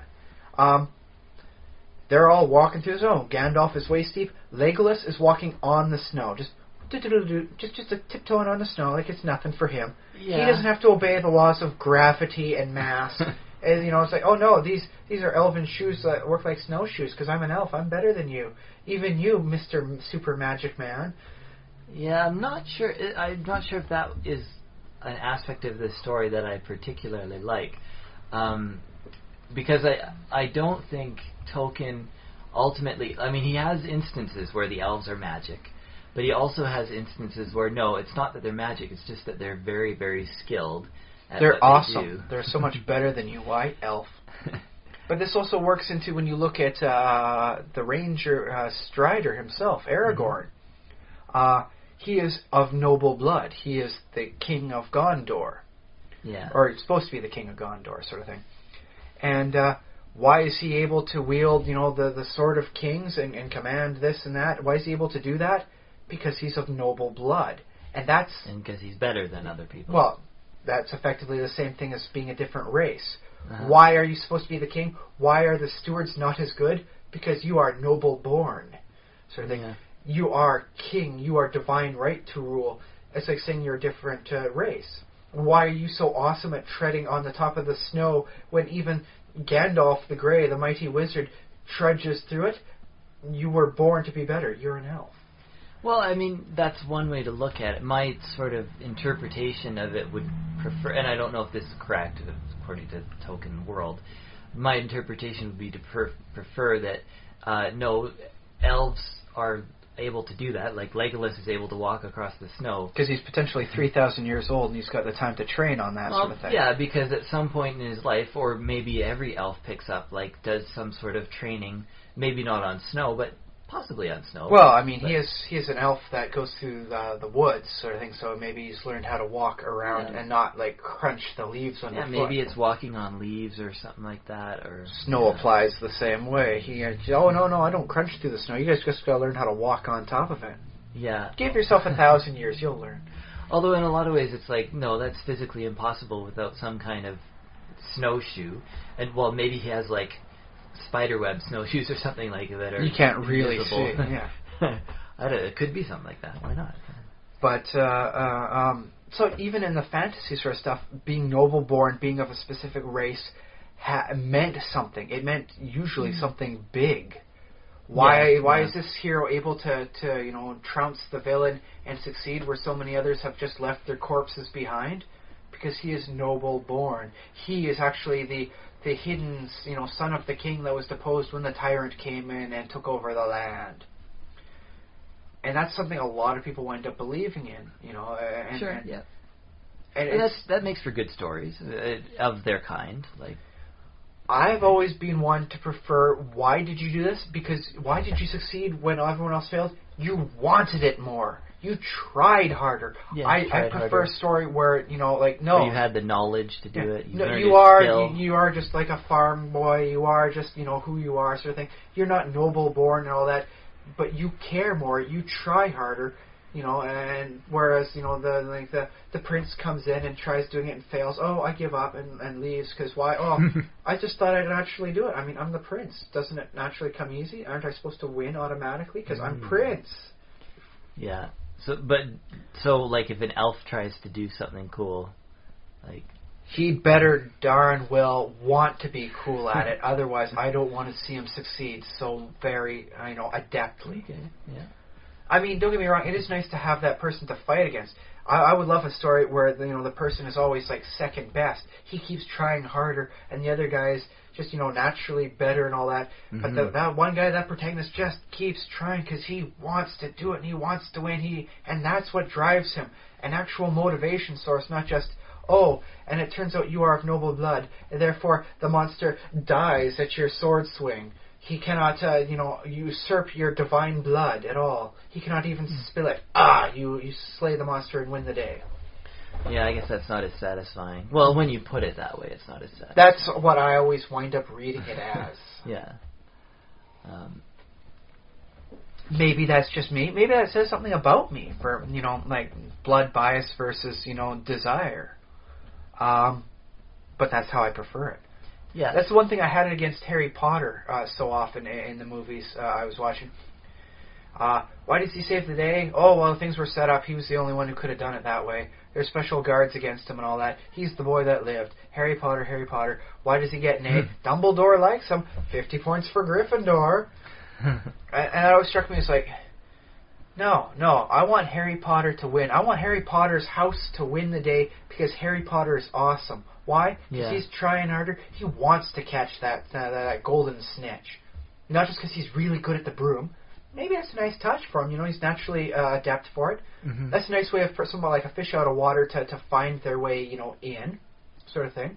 But uh, not just like oh, and then he catches a golden snitch. The game is over. I I don't like the rules for for that that dang game because why play anything else other than trying to catch the snitch if it's uh, almost a guaranteed automatic win? Yeah, that is odd. I don't understand all of Harry Potter in a lot of ways. Um, and he, he was, yeah, he was naturally like this. The minute he got on a broom, it was like, oh, this kid's got some talent. But he he worked hard after that, right? Like he did work hard at it, and that's why I was gradually more opening up to him. And, and the one, uh, oh, which which one movie is it where Dumbledore gets kicked out and that that pink lady comes in, that that really prissy one, everyone hated, the one that they wanted to see die more than Voldemort himself. I don't remember which one it was. But yeah, in that one, he's actually training in secret. There's they got that secret room sort of thing for those Yeah. who need it, and they're training spells. That's when I first started to really like the Harry Potter character. Yeah. I was okay with the movies beforehand. You know, hey, magic, fun stuff to see. Ooh, look at magical beasts. Oh, good special effects. No, this one I actually started liking Harry Potter. Why? Because he studied. Hmm. Yeah, I preferred Hermione long Yeah, well, before because she say, studied Hermione applied herself. I mean, Exactly. almost like to a obsessive, obsessive, yeah. But at least I can understand her motivation. Why should she win? Because she's studying. She's trying she's harder. for it. I would have liked to seen her go into the games and just whoop the pants off of everyone there. Why? Because she knows the stuff. She knows the metagame. Oh, that's right. I took out the book on how you know on, on the tactics and stuff. So while you're out there trying to catch the snitch, I'm actually looking at the tactics for who's moving what where, and that way, even though we didn't get the golden snitch, we got enough points to win the game. Actually, that Her does, as a coach would probably make a really good rule. Yeah. But that does actually make me think because a lot of times what happens with like ancient games and stuff is like they have weird things like oh you know the obvious way to win is to get the snitch but nobody does because the game has been played for thousands of years exactly the same with no changes and even though there are dumb things it's simply tradition that and I, I think a lot of Well, yeah, the, the crazy queen style of chess, the one that we currently know and play, is really idiosyncratic. Um, yeah but it is a lot more entertaining than everybody moves like a pawn. Or no, actually, everyone initially moved like the king. The king is the only one that still moves like the traditional pieces. Oh, yeah. everyone initially just Yeah. moved one square at a time, and that caused you know like long, slow, boring games. So the different moving styles, uh, you know, switches things up, changes place, makes you think harder, and in that case, I'm all right with it. So, which is not to say that yeah, things you know like but I mean, you can equate that out to the. Oh, like, do you want to equ- uh, equivocate out the the concept of the chessboard as like race or class? so the which pieces are which like the Yeah. bishop, Would, bishop would the knight pawns be considered a different race than say the rooks, or would you consider them classes? Well, I, I I think race is more obviously correlated to something like e- each side has a color, so that would make more sense. Like humans versus orcs, like humans on one side, orcs on the other. Well, side. in this case, how the the pieces move would the various chess pieces be considered different races from each other in this thing, or different classes? well, obviously a knight is a horse with a man on top, so that the horse is a different race. well, well, here's the thing: is I, I'd have to say, uh, upon uh, quick reflection of the whole thing, it would have to be more of a race thing, with the odd choice of the uh, the pawn being able to turn into any race once it gets to the other side. Yeah, Because if it was like a class based, that's your that's your your stable boy though that grows up and like and becomes reaches the, the oddly named queen of superpower. queen. yeah. Uh, in this case, I guess it'd be a stable girl. In which case, I'm all for that. That works for a nice story too. Um, but in this case, if it was more of a uh, like a class-based system where the pawn was a different class, in which case you could have a nice, interesting variant on chess, whereby what you do is that you you there's a certain amount of points for each enemy piece you capture, right? So that's how they determine, like, okay, game over, or stop playing, count up who got the most, and then Okay. we'll work it out from there. What you could do is have a nice variant on chess where it's like, okay, I've gotten 10 points of enemy. I will spend 10 points to upgrade one of my rooks to a bishop. And then all of a sudden you get an extra bishop on nothing thing you know, in place of the rook. Or maybe you only do that with a pawn. So it's like, okay, it's uh, Yeah. pawn is one point, and uh, the rook is five. I've gotten four points of enemy units. I will upgrade one of my pawns to a rook. Da da da da. In which case, uh, that sounds like a pretty fun little variant to, to play. If you get bored with chess, try it out. Send us a letter, see how you like it. of Level up chess, yeah. Uh, well, in that case, it, it, it works a little bit more like checkers sort of thing, where because you can have checkers is more common to get a unit at the end of the board. Yeah, yeah. You, you get those me, yeah. promotions, yeah. Um, that said, you know, um, chess is a very basic sort of game. Even still, it's it's an old game with its Well, basic in terms of its rules, like yeah, it's very, it has very simple rules. Obviously, it has can become quite complex. Well, it's, it's, yes, it's infinite in its complexity Yeah. potentially. There are more apparent chess uh, positions, like uh, you know, like in recording like the chess board. More different ways to have everything go about than there are atoms in the Milky Way. Cool. So yeah, good luck trying to you know perfectly solve that. Deep blue, you'll never get that. Yeah, but you're making a point. though. sorry, I stepped on it. But yes, it's it's still a, a very basic game, whereas something like D and D is much more complex in, Yeah. in terms of of, of, of the, any of, of like the the, the role playing games tends to be much more in, intrinsically complex. Uh, just because, well, let's see, in the Stone Soup one, there's something like uh, two, just over two dozen races, and about 15 or so classes, so potential combos and different ones. It's yeah, it's much more complex than chess. Yeah, yeah, I see that.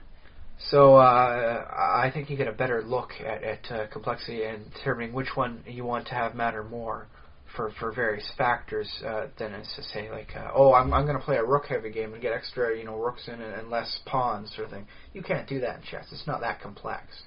You're not allowed for it. There's you you have to really work hard to get a third side into a good game of chess. You know, play the red team. There's Chinese checkers. That says five, five or six. Yeah. Well, it can be that sort of thing, but usually they just play it with three as as they work through their, you know. Um, but you you can do that if you want. Play all six sides, and things get really complex then. All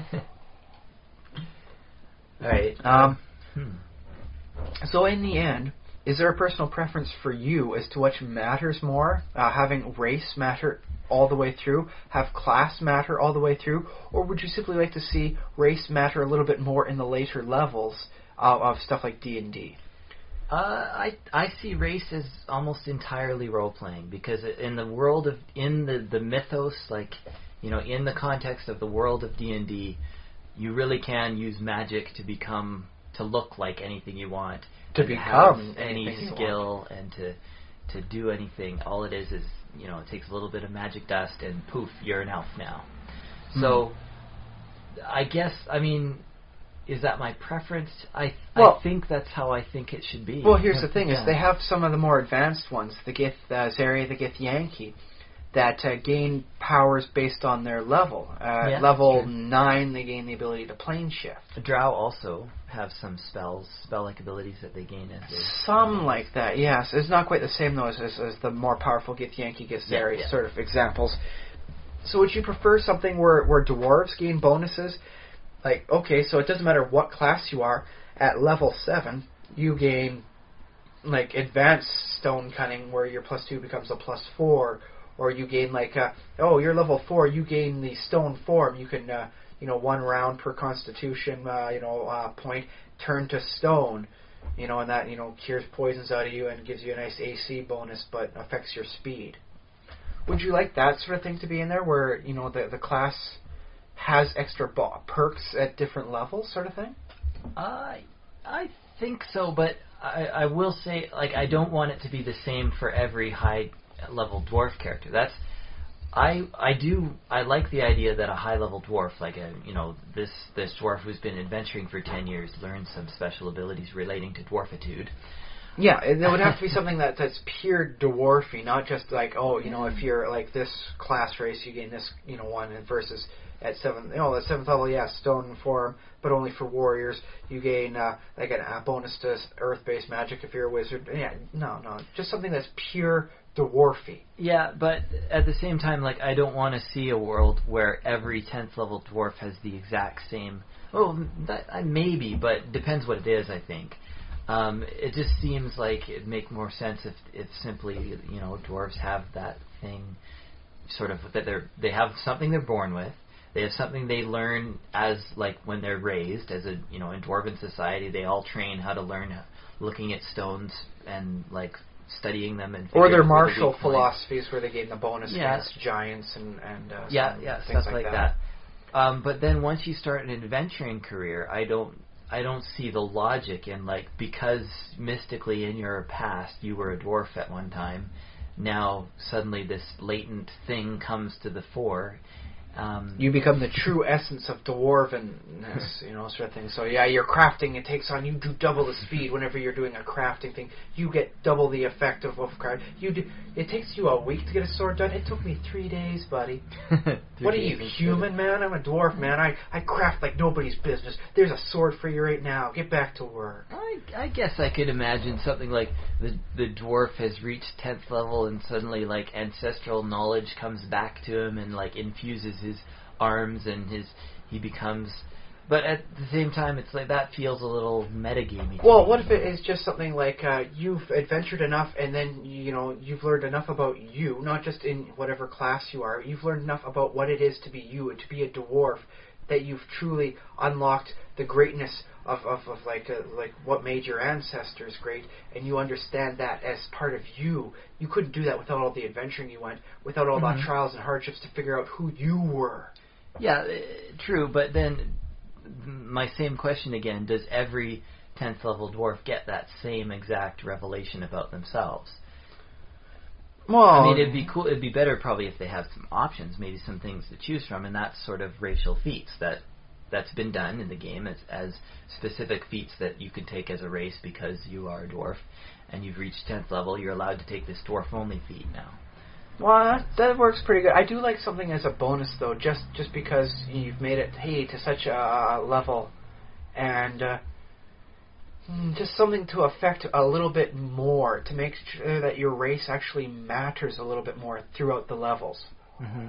Well, and uh, I, I'm not against that per se, but also I feel that like hopefully you're also working on this in a role playing sense, and hopefully like as a tenth level dwarf, you're earning. You know, you've become the dwarf, uh, the baron of your dwarf homeland, or you know. Or just the protectorate hero. yeah, you you, get some title and you get some reputation among the dwarves. Well, that goes back to the second edition thing with like a tenth level fighter starts automatically gaining followers, and they become a lord, and they automatically gain like a title and land. That was that always seemed weird. It's like It is a bit weird if it's automatic. Well, yeah. that's, that's that's the weird thing is it was part of the core mm-hmm. mechanics of second edition Yeah. for fighters, and you'd roll randomly see what sort of guys you'd wind up getting for special elite troops.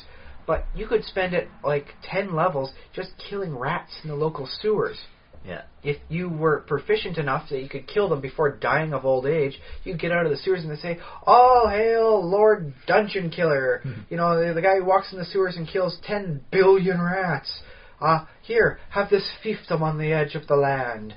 And that seemed really out of place. Well, it yes, because I mean, it depends on your dungeon master, right? Because it, the dungeon master he could sort of create a like shoehorn in a story about how well you became like the sewer, you know, urchins or something gathered around you and and started to support you because they saw all the rats you were killing in the sewer and sort of and they were eating those rats, so you were like their their, their prime, Yeah. you know, food giver. and basically they've built this cult or, or organization around you and you don't even have to really do anything because they've just basically you know this is you've become more than just you know you become a heroic figure to them.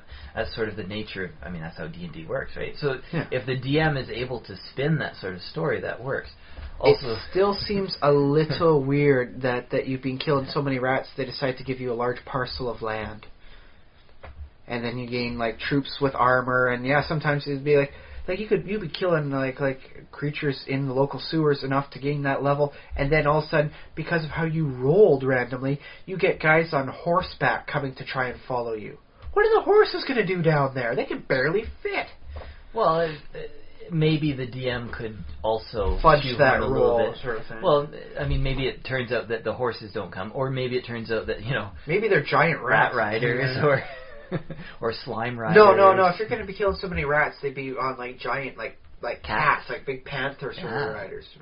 sewer panthers or something. Yeah. Sewer panther. Oh boy, that sounds like fun. I'm gonna find the stats on that beast. And and you know it doesn't have to be humans, right? Maybe they're halflings or even like pixies. Well, that's the thing. Is, is, is it's all randomly rolled back in second edition. yeah, true. And Um, so, okay, I can understand you, you, your concept from this perspective then for having a little bit more variation, something that fits a little bit better. Yeah, it's sort of like the whole story of D and D. How you need a DM because you need to. You, I mean, the, Until we get proper enough AI that we can phase the dungeon master out. Uh, yeah, we're we're all we're working towards it. Um, but yeah, you have these absurd scenarios within D and D, and it it's helpful to think about them. Obviously, that's why we bring them up because it's helpful to think of solutions for them. But also, it's just you know the dungeon. It's just the dungeon master has to say, no, that's absurd. I'm going to change that. You know, that's just how it has to be with D and D. It's one of the that's its weak that's weakness in some way, but it's also it's a very powerful strength. Yeah, to to de-ridiculify things. yeah, but of course, like you get such good stories too. Like if you if you have that the sewer king who kills all the rats in the sewer, and he has horsemen coming to them, that's a great. I mean, it's absurd, but if you can tell it, like that's a good story. if you can figure out the way to connect those two threads, Thirty knights suddenly appear in the room, in the ten by ten room, with all their horses. they kneel gear. down before you and swear allegiance. Okay. Well, that's the thing is, is the rangers would gain like mystical woodland companions, Mhm. but rangers could still be in, in the sewers, in the sewers just as well, going down there and, and like slaying, you know, like the Mhm. the you know the, the dreaded like sewer moccasin, or you know, snakes and all that, and then all of a sudden, oh, a dryad decides to try and help you. It's like, where's your tree, lady? Please tell me you don't have a sewer tree. I don't need this. This is creepy, even for me. yeah, well, it is creepy, but D and D has creepy things in it. You gotta admit that. Yeah, but the concept of a dryad forever trapped under the you know the city in the sewers sort Well, of thing. 'cause- trapped? No, it's, it's Well, they're they're confined based according to the, Yeah. the, the the location of their tree.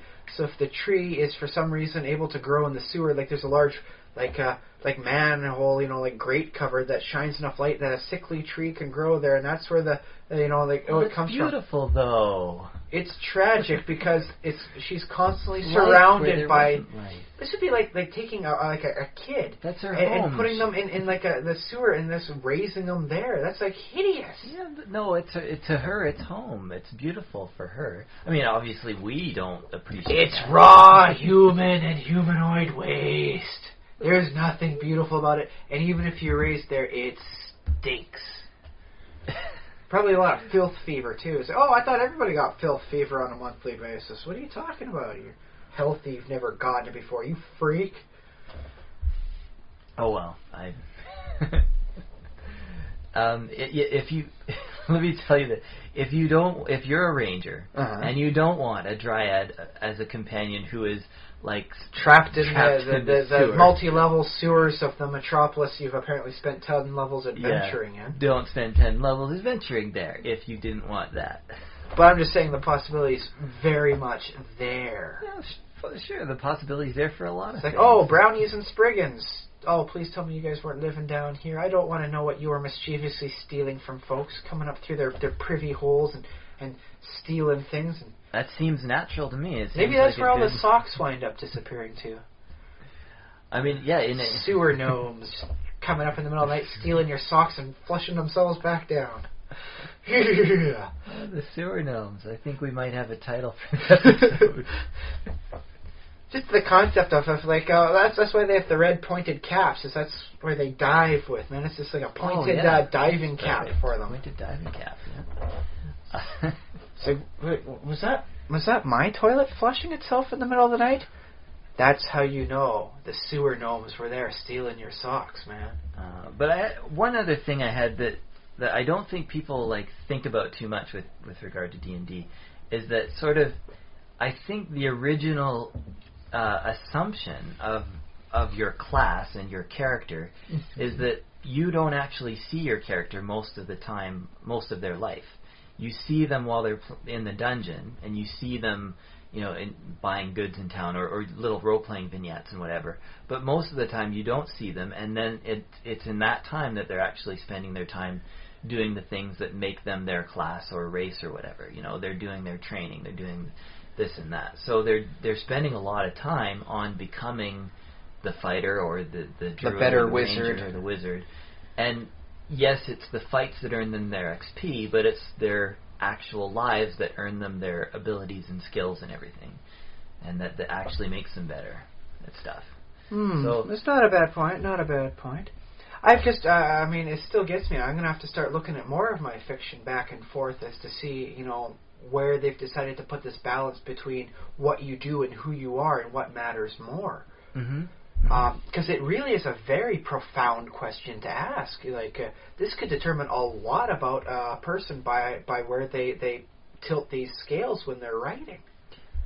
Yeah, yeah. Well, I think so. Yeah, A- and, like, yeah, my, I guess my personal feeling on it is that your background actually shouldn't matter so much. It should matter more your ideas and your like the things that you do going forward and your, you know, what you do in the future. Your your present actions matter more than your background.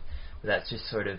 I, I'm open to fantasy stories in which you know that whole bloodlines and racial thing. I mean that can be cool. I, I mm-hmm. mean it's it's also got a little hint of racism and and other stuff mixed into it, but it, it can be really cool. Good stories. Too. Done right, it can Yeah. be really cool. Done wrong, it's really painful. Yeah, yeah. So, but yeah, in the end, I suppose it's just like a like a three way scale of of uh, you know like who you are, you know, uh, versus your background versus what you want. Mm-hmm. And uh, yeah, so I encourage everyone out there who's uh, who's writing their own thing, you know, who's who's deciding to tell their own story, you know, designing their own campaign, go back and take a look and, and see where you've decided to to put your focus.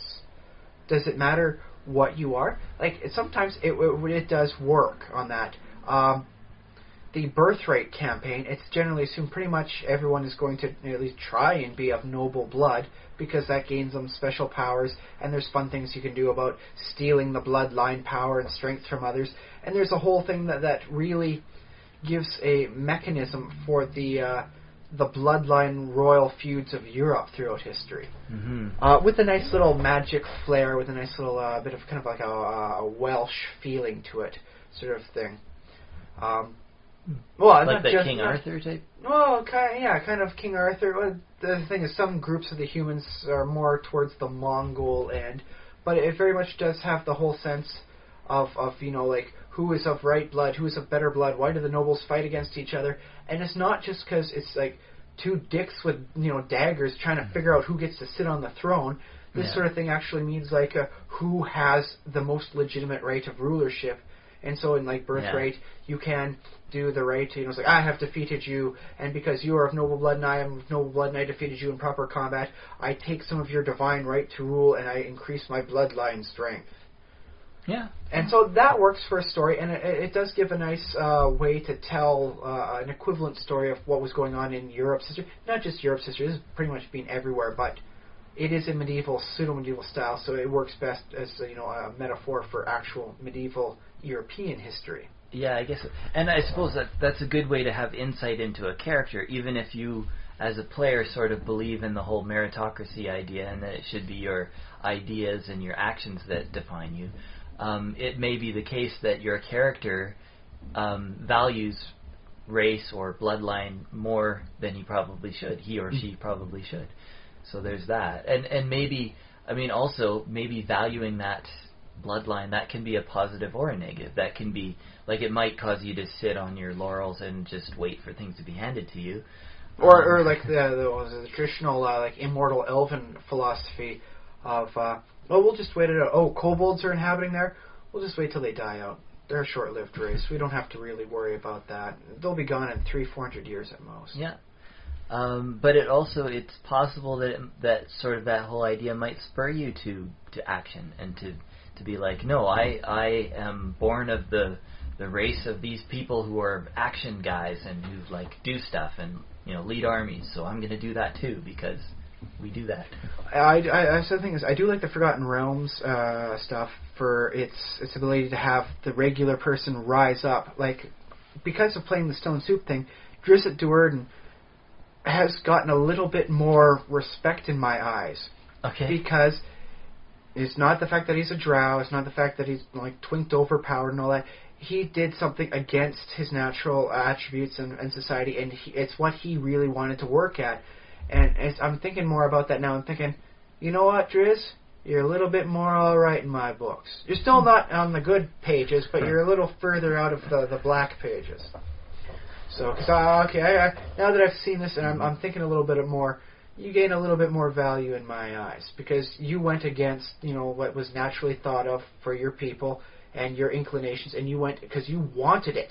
You wanted to do that other thing, and and that's what you did, and that's how you became who you are. Okay, okay, I can respect that now that I've thought about it more.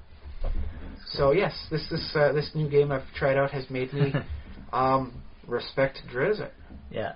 Um, well, I have one more th- one more thought to add though, and I think I've mentioned this before too. But humans are awesome. Like in the real world, humans are pretty. We are kick-ass. an ultra apex predator. Um, and they're like, if you look at other species, there are no other species that come close to what we are able to do. to rocking out Like- how bad and hard we rock out. It's funny because you you pick almost any single attributes like oh humans use tools. Well, yeah, some animals use tools. Humans use language. Well, we taught some gorillas how to use sign language, um, and maybe dolphins talk to each other and and have names for each other and things like that. So it's like little bits, but humans as an aggregate, humans just have so much going for them that they're just they're they dominate. When biologically you might not suspect it, because I mean, like, Yeah. oh, look at that lion. He's got claws like this Yeah, and teeth exactly. like that. Look at look at that leopard. He's going so fast. And it's like, oh my goodness, look at the rhinos over here. They can just stampede over whatever the heck they want and crush them underfoot. They're awesome. Exactly. What does this thing got? He's pale and Where's his claws? He's got hair growing out of some spots, but not others. What's what's go? Is that is that like a camouflage thing going on? Where's he supposed to be hiding? What is this thing? It's like it is the killer of all other beasts. It is man. Yeah, it's pretty awesome. So, Yeah. so in D and D, you have all these other uh, like races, but really they're basically just humans because they Or have, humans with funny hats, as Well, yeah. tends to go. because they have the main the attributes of humans that that make us uh, so awesome is the the opposable thumbs and the reasoning and the language and all that stuff. So, it, just uh, riffing on that just to a little bit, um, there are. It might be possible to have like interesting races who have serious deficiencies. Like, I mean, The orcish uh, intellectual deficiency of I prefer to smash before I think about things, as Yeah. a stereotype. Uh, yeah, something like that. And I was thinking like dwarves in like we put dwarves in stories now almost as if they're like fully um, uh, th- well their own their own race. Um, their own like you know they breed true with each other and they have Yeah. little baby dwarves and and uh, they don't have like I don't know like a deficiency of some kind. But okay, by the way, in your ideal fantasy campaign world, do dwarven babies have beards? yeah, little beard, little Little dwarven baby Yeah. beards. Nice little fuzz patch Um, going on there. It's like, oh, he's six years old and he's already got himself a nice little goatee. Yeah, yeah, they're born with yeah, just a very light, you know, light baby hair, but yeah, it's and then it darkens and thickens as they, as they grow older, and, and by the time they're in kindergarten, they can they can braid it. I can dig that. Okay, get I can first dig that. Yeah. their first braid. Um, they learn how to braid their beards in kindergarten, just like you learn how to tie your shoes. Yeah, yeah, yeah. Okay, I can dig it. Um, All right, so yes, you were saying. Sorry. That's uh, the the breed true their their own race yeah, and all that. but I mean, sort of fantasy dwarfs came sort of from our human version of small people in the real world, who often have Mm. dwarfism along with. Partially, Well- there was also that Norse thing about the the dark elves Yeah. that were interpreted as dwarves. Okay. that were the magical crafters. They just happened to live in small areas, you know, and so well they must be small, right? Small cave. Yeah, but so so this whole the the dwarfism comes along with a lot of like it's basically it's a health problem. It's Yeah, yeah. There, is didn't go that, right. you know, put in the mix very prominently in some cases. yeah. So it and it might be the case that for fantasy races, um, So elves would be anemic. Well, yeah, you could Once throw you cut in. one, they always bleed until magically healed. oh, that yeah. I can sure, dig it. yeah, Yeah. Ah, heal Jack, heal Jack. Oh God, oh God, I'm bleeding, I'm bleeding. Ah, Because uh, yeah. why did I take ranks in, in alchemy so I could have made myself a potion of coagulation? I mean, I don't know how well dizzy. this works for a game. That's the thing. For if you're playing a It would be kind of fun to role to play balance. that sort of thing. It'd be, I think it would work great for a story to have. It would definitely keep elves away from the you know the martial classes. Ah, ah, ah, I stick with bows and ranged weapons and magics, man. I just just don't pierce the skin. All right. Mhm. So okay, yeah, anemic elves kind of work. Yeah, and so so so give these like really major drop because humans So wait, like are are great and maybe they should be great compared to the other the so would that make hobbits like uh, overeating gluttons and like hoarders then? maybe hobbits couldn't run or something like that? Hobbits can Well, if they're you know let's see breakfast, you know second Mhm. breakfast, eleven C's, lunch, uh, Just too full of afternoon tea, dinner, supper, uh, midnight snack. Oh yeah, if you're having like eight decent meals a day, maybe you shouldn't be able to run. Maybe you're just a little hefty there, eh? or maybe hobbits don't float, they just sink. Or should they float? I don't know. Uh, well, geez, if they're having eight meals a day and they're as round as they're portrayed as, uh, their body, you know, mass index is going to indicate they should probably float very well. Yeah, they should float well. I guess if but they if eat they lots try, of fatty if food. they try to swim, they're probably going to get cramps Yeah. because there's like no point in their waking cycle. They're not far enough away from having a meal that they're not going to get a cramp. Yeah, although I think that According to the old myth, wives' tale, yeah. Anyways, yeah, myths are a ripe territory for D and D. For any fantasy sort of thing to to, to work with. Is, it- is there a rule in D and D about swimming after eating? There should be. Uh, I can see a DM imposing uh, a nice point penalty. It's like, dude, you just ate so much turkey and now you're trying to swim. I don't know why you took a turkey with you instead of proper, you know, like iron rations, but this is the penalty you take for it. Make a fortitude save. Ah, crap, crap, crap. Dwarf has to doggy paddle up, get you, and doggy paddle back. That's how I imagine dwarves swimming. I, I don't know why. I just see them doggy paddling. It just seems right. Uh, uh, well, let's see. We've been talking, probably used up all of our time um, for this week. But yes, uh, ultimately, I don't think there's any one that's uh, more preferential than the other for, for where you want to put, uh, y- you know, who you are, what you want, and what you are as, Mhm. as a balance. But finding out why you've put it there and how that can help out your story, I think it's a very great idea. yeah, it's just something to think about. Yeah, Um, sure. well, and, and how you want to play with that, you know, putting more emphasis on one versus the other, you can come up with some very weird things, like, uh, like, well, like I said, the for you know the, the birthright uh, campaign setting actually plays with the concept like, what if being noble born really did matter? What if that actually does do things for you? And then they went with that, and that's what made such a weird, fun little setting that they've never reproduced in second edition. I don't know why, but Yeah. Well, I mean, there's so much stuff that they haven't redone. It's it's quite. Yeah, but they can always make decent uh, cash off of doing like a, Oh, a one-time splat book toss-out sort of thing.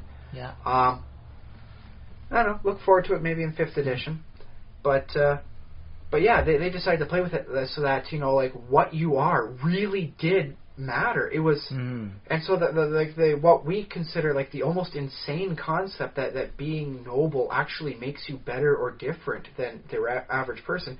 They went with that as being like a real thing, and it's that sort of stuff. I mean, that's that's like ideas like like well the idea that ideas matter and change. You know, like who you can be and the universe itself. That's how they got Planescape. hmm sure. And so, yeah, playing with these variables and seeing what really matters and taking that away from actual reality really can help out uh, your writing, your uh, your campaign Yeah, setting, whichever way, yeah. whichever way you're going with it. Even if it's only in your your elven character's head that I'm an elf, I must be better than you. And if not, I will come up with a magic spell that will temporarily make me better than you, and I will use it at every given opportunity. Because you know, sounds like something a racist elf might wind up doing. Yeah, uh, for sure. Well, I guess uh, that's all. Uh, I did mention our email address for the future listeners, but in case you missed it for some reason, thesimulationist at gmail.com. Uh, quick, uh, quick notice out there. Uh, in addition, that uh, is coming up uh, very quickly. It's almost the end of uh, January, and it's at the end of February. Uh, if you make sure to sign, uh, get your uh, your pre tickets, you know, pre-done uh, for the full like weekend pass. Uh, the option for that is uh, February the fourth, I believe. And if you get them, get the whole weekend, you get a set of uh, Chessex dice, you know, with like a GottaCon 2014 on there, and your choice of one of two shirts, uh, the GottaCon Adventure Time or GottaCon Ponies. So you know, it does matter to actually get that, not just for the price break, but you know, like swag. Or I suppose, given that it is, you know, like so heavily invested in the fantasy, loot, Loot. fat loot. Yeah. So you know, just putting that out there. Yeah, get your tickets for GottaCon 2014, Victoria, BC. Be there or don't be a square, man. Nerds only. Cool. Yeah. Well, that's all. That, I think that's all. Is that? Yeah. I believe it for this week. That's all we've got for this week. There'll be another 90 minutes in another seven days. Uh, yeah, look forward to uh, to listening us to then, listening to us again then. Um, if you're Or listening just to a few minutes, yeah, if you're from the yeah, future. in the man. future in sequence, then uh, yeah, pop on over to the next one, or you know, You get to effectively loaded. time travel by listening to the past and then skipping a week ahead in the future and listening to us then. So yeah, we will uh, be back in a week, and for you, well, we'll see you when we see you. Take care, okay? I've been Josh Trelevin. I've been Ryan Kirkby. Send my.